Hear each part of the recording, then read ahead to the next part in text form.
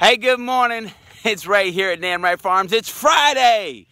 Fantastic Friday. I pray your week's been great. This week we've been reviewing that story of those teenage girls that let those lambs out of the gate and those little lessons we've been able to pull from that. And you know, the truth is, we all make mistakes. Just like those girls when they opened the gate and those little lambs squirted out, we all make mistakes. But we amplify our mistakes by trying to chase after them, trying to slow them down, trying to catch them on our own, trying to figure things out. How can I fix the problem? And the truth is, it's not up to us. The devil will have us chasing our tails for the rest of our lives if he can at all possible accomplish that goal. And the way he accomplishes that goal is by telling us lies like this is all your fault. You've got to fix it.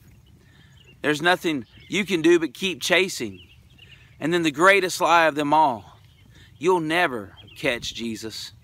You'll never be like Jesus. You'll never be who He meant for you to be. And so we keep chasing and chasing and chasing.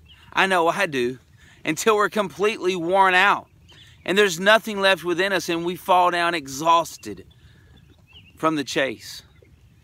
But Jesus has told us through his word, there is no need to chase me. For I am with you always, even until the end of the world. And if you, O Lamb, you are the one who squirts out of the gate, I will seek you, and I will find you because I'm going to seek you with all my heart. What a beautiful picture for us. We must expose these lies of the enemy so that we can live in the foundation and truth of what God has given us. And that is that today you can enjoy the shepherd. You can enjoy a relationship with Jesus. All you must do is be still. Allow him to pour his love out upon you. There's no need for you to keep chasing and pursuing the carrot on the end of the stick. Today, rest in the fact, in the truth that the work has been accomplished.